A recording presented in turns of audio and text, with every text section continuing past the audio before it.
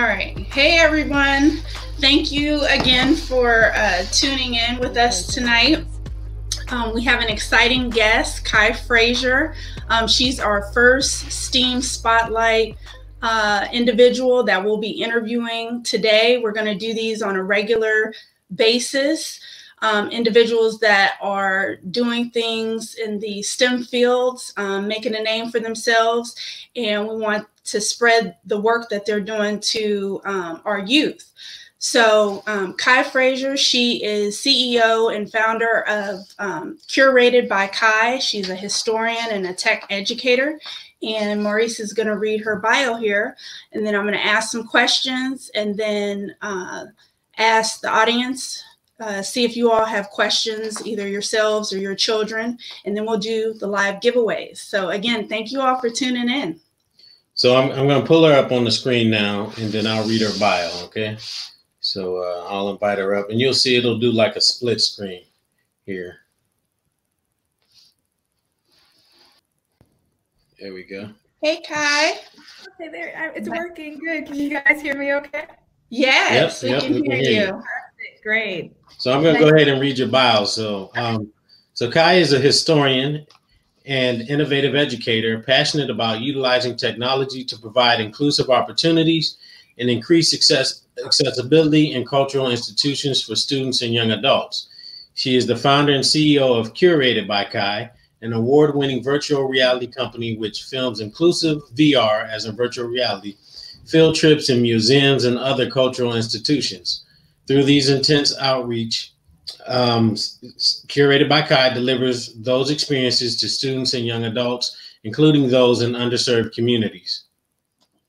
Um, she is an entrepreneur in residence at the Kapor Center for Social Impact, and her work has been featured in Forbes, NBC, and the Steve Harvey Show, and more. Okay. Did your screen go out? So my screen keeps pausing a little bit. So every time it does that, I just refresh it to make sure it's Okay. not. Okay. That's me just messing up stuff. Okay. Well, if it happens, we can just continue forward. Okay. Okay. So, and then um, those of you all in the audience, if you have any um, tech or audio issues, just um, on the side, the chat box, just go ahead and um, plug something in, and Mr. Mo handle that. And I should say too, I'm um, Erica Womack. Okay. So Kai Frazier, um, can you hear me, Kai? Oh, she's reconnecting. Uh, okay. We'll give her a second to uh, reconnect because I don't think she can hear me. Keeps freezing a Okay. bit. Okay. You still hear me when it happens. You can hear me fine. Yep. Yeah, but not when you go out. So Okay. hopefully it won't won't go out. So Kai, tell us a little bit about uh, what you do for a living. Sure. So, for a living, I am a teacher by trade, um, and uh, a teacher, a researcher, and now I work in virtual reality, um, making VR productions and making sure VR gets to a lot of people who don't know it even exists. Okay, okay. And so, how did you make that jump from historian to tech educator?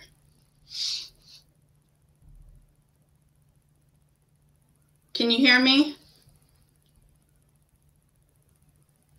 I don't think she can. Hey, Maybe- Kai, can you hear us?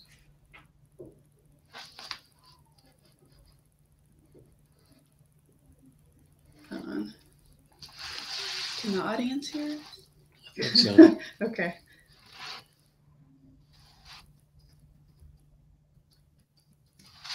It looks like it's like is it stuck. phone? Oh, Kai, Maybe she.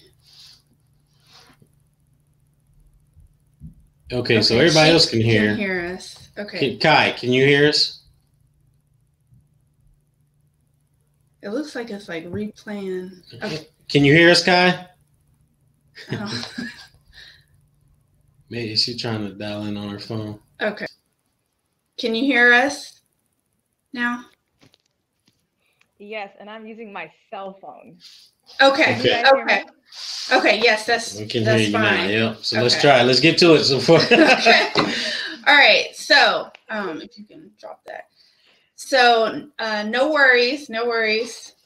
Um, so for those that because um, some people did come in later so if you can just tell again what do you do for a living and then how did you make that switch from historian to uh, tech educator slash entrepreneur sure Sure, no problem. Apologies for all these computers that are failing me. But to answer your question, I started off as a history I started off as a history teacher and I never had any interest in getting into tech whatsoever. Each day I'm still uh, curious of how I'm in tech right now. Um, I made the transition into tech because I was really frustrated with my classroom mm. and the digital tools that I that were not working in my classroom.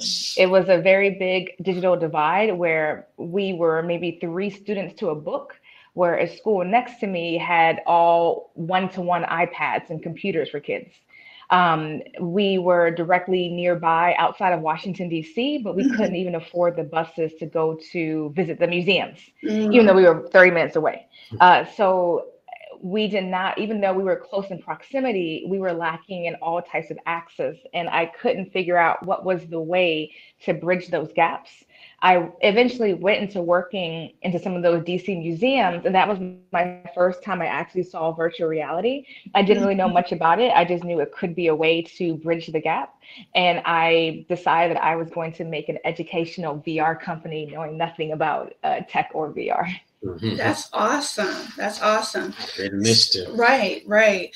So then what got you out of the classroom because you could have stayed in the classroom and just you know ran your company that way would eventually led you just straight on that entrepreneurial journey and i guess you know you're still an educator but just not in that classroom space so what yeah yeah forever a teacher um, i left teaching uh, in about 2014 and I left okay. to work in history museums. So I went from being a history mm. teacher to working in history museums.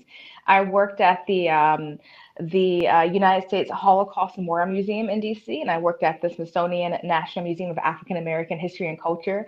We oh, fondly call it the Blacksonian, but the new African American Museum in DC.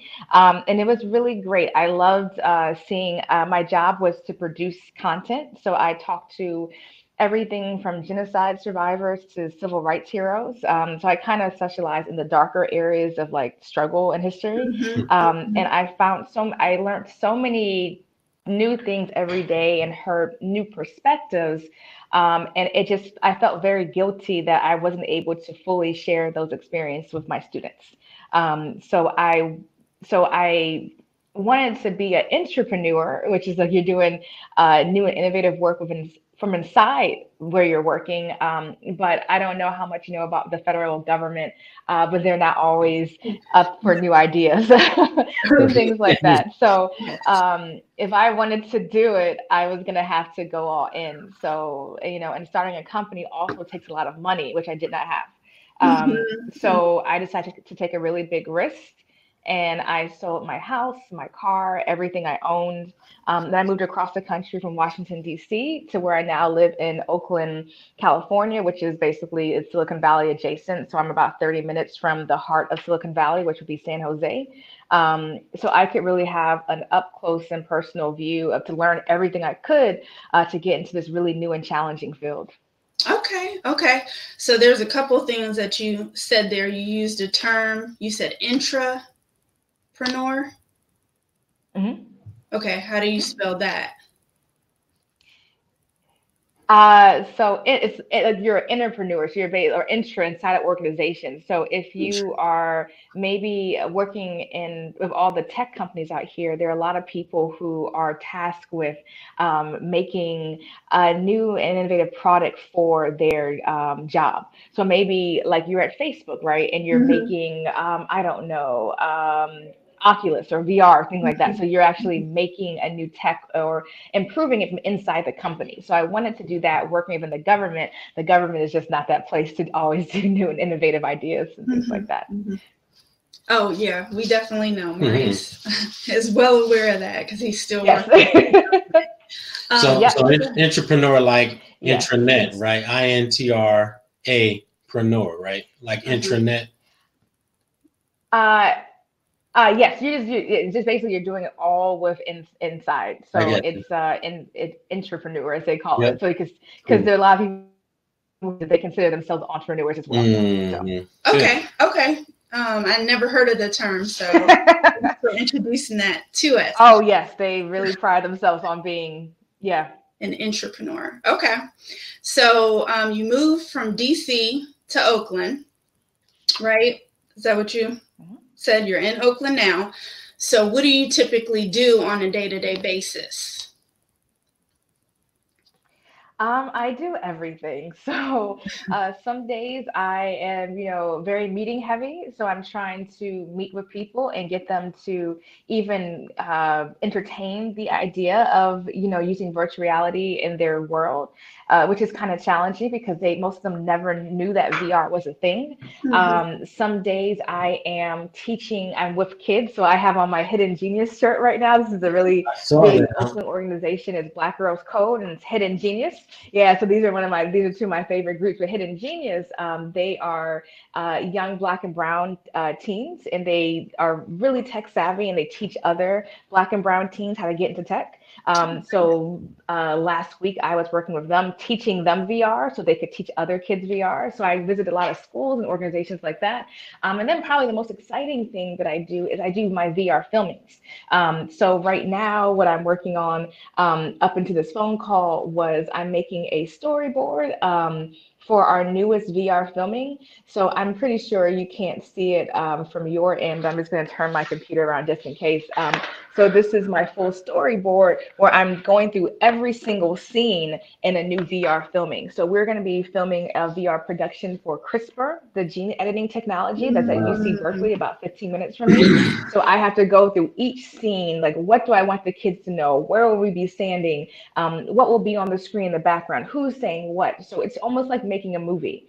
So I'm going through and um, collaborating with the scientists at UC Berkeley so we can make sure we're making a kid-friendly VR experience that can be used in classrooms. Um, and that's fun because for whatever VR experience I do, I have to go to the location because we're actually filming.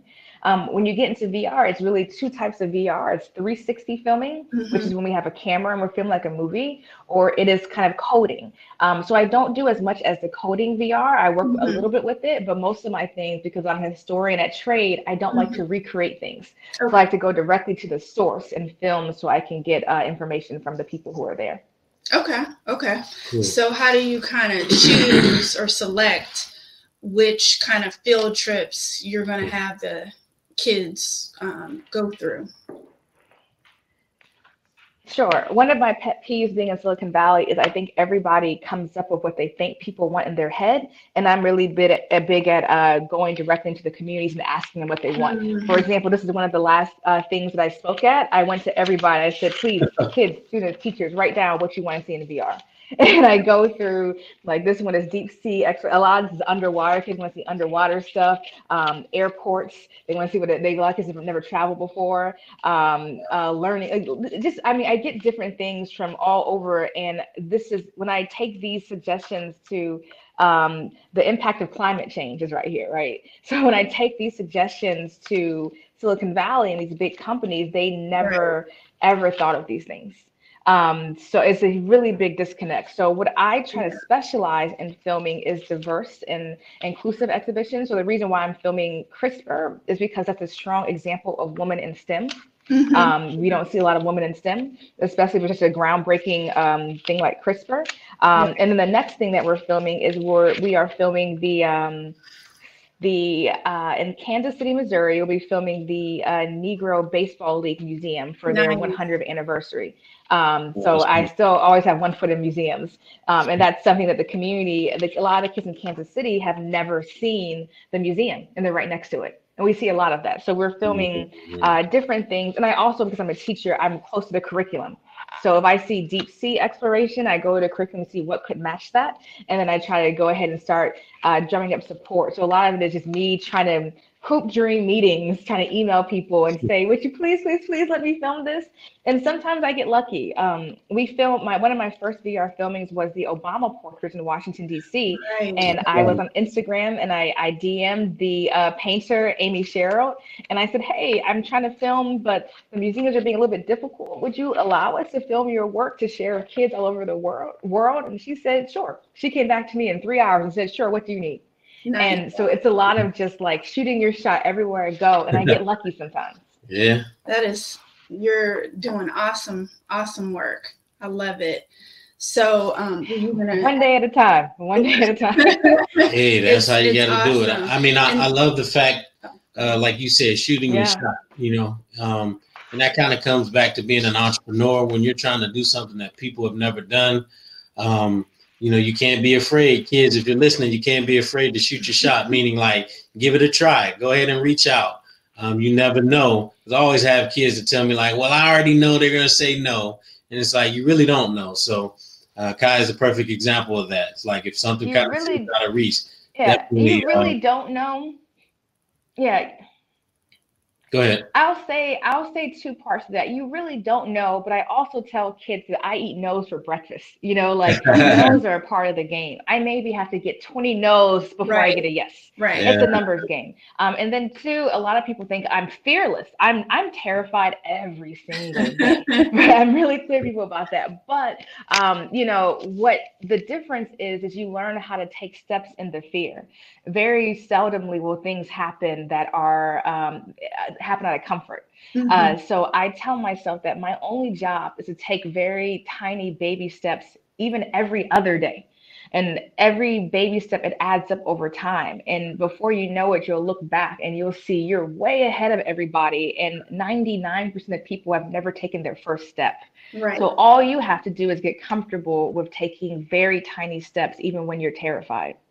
Definitely, definitely. And we definitely need you um, at the table. Like you said, um, you know, your voice is necessary in these places where it's, you know, white, male dominated a lot of times. Um, is there anything that you tell yes. young people in terms of what they need to do now to get into a kind of career path like yours? Sure. So I uh, had, like I said, I I followed all the rules for my career path to be in history, and even doing that, it was very challenging. Um, some things that I wish I would have did differently is that even when I teach kids now, we always ask kids, "What do you want to be when you grow up?" Right. And I'm really seeing how terrible of a question that is to ask kids.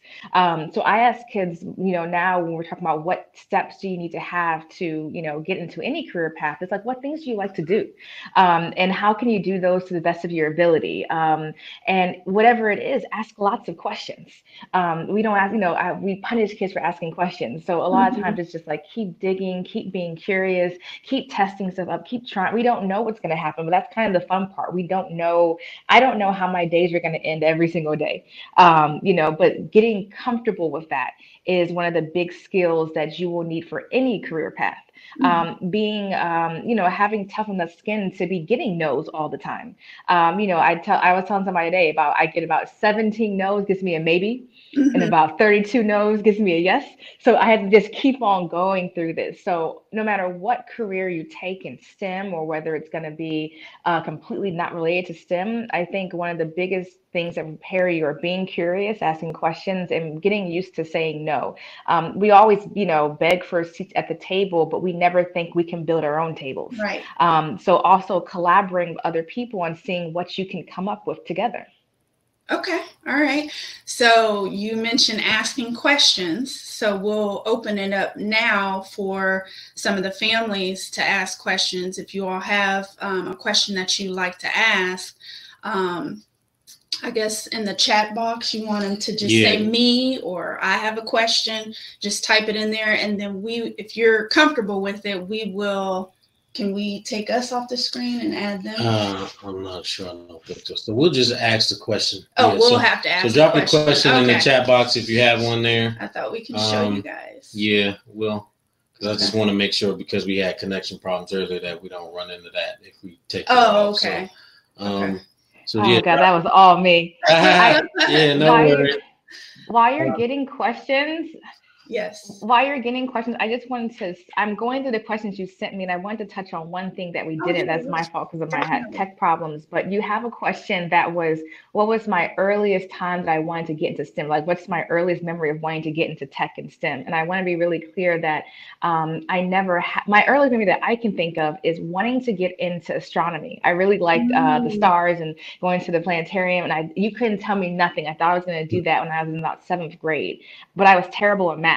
And my math teacher, I mean, my excuse me, my science teacher told me that I would not be able to do um, astronomy because it involved quantum physics and a lot of math. And that's where I stopped. So I remember stopping all science in seventh grade because I had a teacher tell me that I couldn't do it because I was bad at math um, when I now that I'm doing this CRISPR uh, researching with the Berkeley scientists, I told them that story, and they all looked at me and said, "We don't do much math. What are you talking about?" and I always think about yeah. how what my STEM career path could have been if I didn't have somebody who I really looked up to tell me that I couldn't do mm-hmm. it. Um, so no matter you know, you can always learn new skills. You're gonna mm-hmm. in your mm-hmm. entire life, you're learning new skills. Um, so there's an opportunity to do whatever you want to. And never in a million years that I think from teaching history, I would be like traveling all over, like basically making mini movies, immersive movies in VR. Um, right. That was never in my cards, or maybe it was, I just didn't see it. So I just want to say, like, whatever you want to do, there is a path to do it, regardless of what anybody says. Right. Not letting teachers dim your light. Absolutely. And and and to second what you're saying, I'm an engineer and we don't use math on a daily basis like that either um, is more conceptual. You know, okay. we definitely have you know kind of go through that process and understand how math works. But as far as day to day activities, we we definitely don't don't engage in math uh, all that much. But um, so we got a question here. Um, it's a good one. Wait, so wait a minute. We yeah. so Brittany asked. Um, is it only schools that can access your VR or is it accessible to everyone? And she says she loves it. That's a really great question, Brittany. So I work really hard to make sure our VR is as as accessible as possible. Um, not going too deep into it, we make web VR, which means if there is a web browser, you can use it. That means on your phone, that means on your iPad, on your desktop, because you can also watch 360 videos on a desktop as opposed to um, in an actual headset. And it will also work on any headset because most of the headsets have, or all of them have a web browser on them. Mm-hmm. Um, that's very different because um, most VR headset or most VR experiences only work on a particular headset. So maybe there's a really cool LeBron James VR experience you like, but it's only available on Facebook's Oculus Quest. That mm-hmm. means you can't watch it on the phone, you can't watch it on your desktop, iPad. So we make sure that our stuff is accessible from all over. You can go to our site, go to our VR catalog, and right now everything is free. You can go check it out. This is what we call our MVP, our uh, minimal viable product. So what's the basic thing we can make to mm-hmm. see if there's an interest? Um, when we hit 2020, we'll be revamping our platform so kids can not only uh, watch and explore VR, they can also um, uh, make VR. So we've been doing a collaboration with Mozilla this whole year to kind of make a platform where kids can drag and drop VR. So they don't need they don't even need coding to do VR. Okay. Um, and then they can get into HTML coding to make a web VR. So we're making sure we have a stepping stone so kids can actually get into this field and take over and dominate it. Nice. Wow, that's that. great. Yeah, and, and if you're not familiar with uh, Mozilla, they actually they make the Firefox web browser. So your parents probably are familiar with them. So a very large organization. So it sounds like you're working with a lot of the heavy hitters in Silicon Valley. So that's great. So um yeah. Website, oh, go ahead. Yeah, can you tell us the, the your web address so we'll put it, families can visit? Yeah. Sure. Sure. My website is www.curated the letter X Kai K A I. So curated X Kai, um, curated by Kai is what we call it. Uh, curatedxkai.com. Um, and you can see all of our stuff. If you go to our website, there is I think a tab that says "Bring VR to Your World." You'll see we have fifth grade and under VR experiences. We have all of our VR experiences. There's about 50 on the site right now.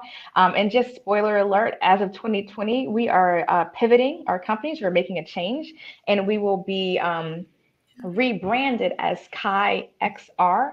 XR stands for mixed reality, the X, the unknown. Um, so when we get into augmented reality, virtual reality, and whatever else may be invented that we don't know about, that's the X. So we're going to be Kai XR to get into all types of mixed reality. Nice, nice. And then if you guys um, check out her website, you see, like she said, a variety of different VR experiences, even like Disney on there for like the really young kids, and then science, and then the museum experiences as well. Um, yeah. Another question. And all you have to do is make a login. Uh, oh yeah, okay. free login. So all free. Okay. Free login, and then you can go and see it. Yep. Um, another question Do you know of any summer programs um, for middle or high schoolers that are related to VR or coding? And I don't know. Um, yes. So I have. I I think what I would tell you is just kind of more location based. I know you guys are out in Ohio. I'm out here in the Bay and like San Francisco Bay Area. Um, so I find STEM programs every day out here from mm-hmm. from the Hidden Genius Project, which I'm wearing right now, to Black Girls Code is out here with us, and to everything in between. Mm-hmm. Um, so, but we also do STEM programs. Um, what we have on our site that we are redesigning right now is our VR STEM kits. So we also mm-hmm. have groups who maybe have their own STEM summer camp and they want to order our STEM kits to kind of have their own week long VR STEM kit. Um, so we're going to be working on that too um, this spring so they'll be ready for summer. Okay, okay. And I forgot to mention that question was from um, the Bradshaw family. And then from um, BHG, um, oh, she was just saying um, her daughters are fan girls of your work now. And then you this Yay. is from the Bradshaw family. Do you facilitate any summer programs yourself? Or are you always just working with other uh, groups? So I have found it easier as a small business for me to jump on other people's mm-hmm. Um, mm-hmm. Uh, programs because it allows me to get uh, it allows me to get to different areas, different locations, so I can jump. If I was doing my own program, it would do a lot of work. We would probably run it like maybe one week, one month, and it's over. But instead, I'm able to go to Ohio, do a training, go to uh, San Jose, do a training, go to Chicago, do a training, go to Atlanta. So I kind of jump on um, and uh, travel a lot just so I can make touch points, even doing things like this, um, so we can have um, digital trainings. And then one thing that I'm really looking forward to is with our new platform, you can do virtual trainings. So you can put a headset on and be at a summer camp um, and, yeah. and listen and do things like that. So we're trying to make all of these opportunities more accessible than, um, you know, like it's, it's, I can very easily do my own camp, but that's not solving the problem that I saw every single day. It's how do we make everything accessible so no matter where you are, you can have top quality uh, VR entry points so you can have your own career, make your own business in anything in STEM past VR. Definitely, definitely. Um, Okay, and then Kaleem, um, that you know, um, he doesn't, have yes. any questions, but he loves your the session and your energy. so, so, so, thank I, you, Tom. So, so I've got I've. Go, okay. go ahead. Yeah, what's your question? Oh, um, I, I can't leave. Oh without, no, I was just saying I've never been to Ohio, so I've got to go. Yes, yeah, Columbus. So, come. so, so, I mean, we're gonna get to. We got a couple uh, headsets, cardboard VR cardboard headsets to give out from Kai. Um, but I, I noticed your branding, Kai, and, and I'm looking at you now, and I noticed the vibrant hair. So, tell us kind of how how that came about. Is that something that you uh, is part of your branding, and and who you are, and why? you want the real story? hey, hey, give us I the real. Tell you, I would tell you the. Uh, I'll tell you the real story. I apologize, kids. I'm when I divorced my ex-husband a couple years ago, I was like, I want to do something different.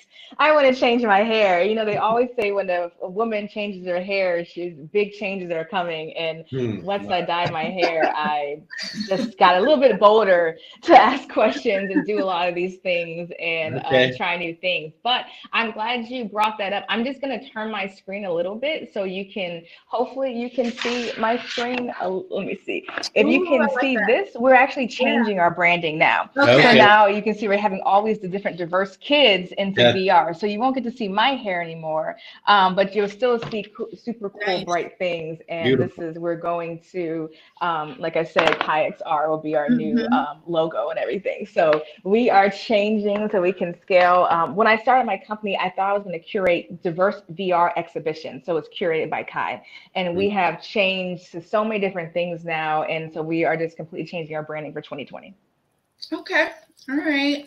Well, Kai, um, you know, I haven't met you in person, but Maurice has had glowing things to say about you, and you were just wonderful um, this this evening. I'm a real fan of yours for sure, and um, I thank you, thank you for dealing with the tech issues. Apologies for that. Oh no, no, no, um, it's not a problem at all. We appreciate you taking the time um, out of your day. I know it's five ten there, so you probably have to get a little more work in. We're yeah. it's evening you know, for us. But um, definitely yeah. appreciate you taking the time um, out of your busy schedule to talk to um, our families here.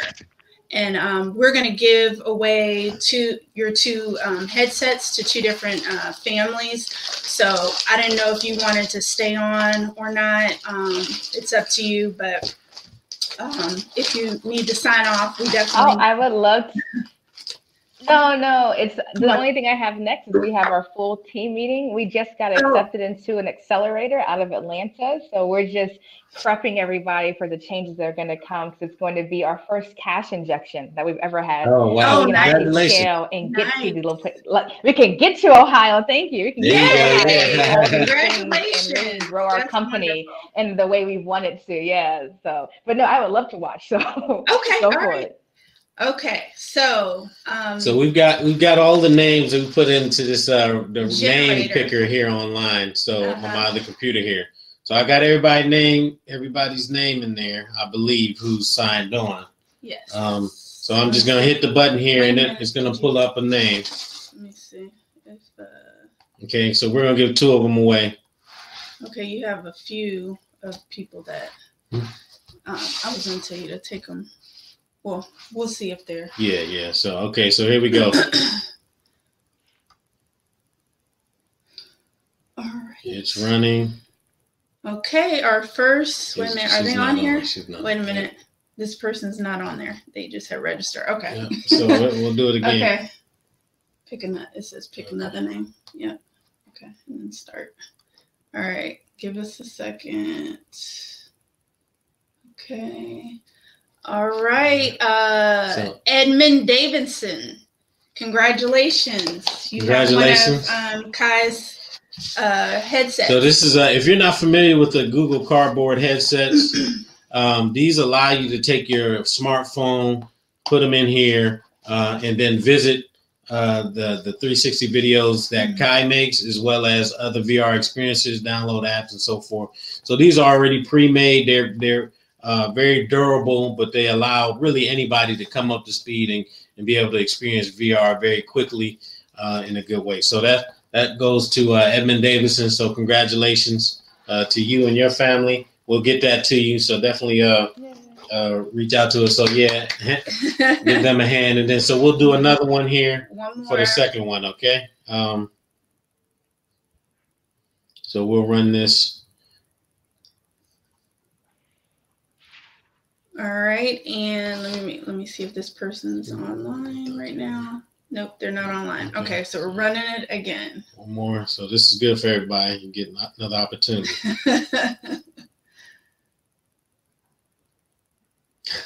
so Brittany. So I think that's that's uh, is that the Barneses? Brittany. Yeah, I think so. That's that's Brittany. That? Yeah, that's yeah, so, so Candace, Brittany Barnes, Brooklyn, I think that's their family, right?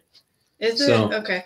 If you all can say, um, Brittany, if that's you, off to the side, just type something so we know. Okay, and then so congratulations to you. Okay, they said yes. Okay, yeah, that's what it was. So yeah, so um, yeah, so congratulations to the to the winners of those VR headsets. Definitely uh, to Edmund. Edmund in in, uh, in the Barneses. So the Barneses. Um, appreciate you tuning tuning in. So if you haven't already done so, I know we're doing this on the Crowdcast platform, but we have the online uh, STEM club, which is uh, Club Oasis. So if you go to that website, I'll put the link there. If you haven't signed up there, make sure you go there and sign up.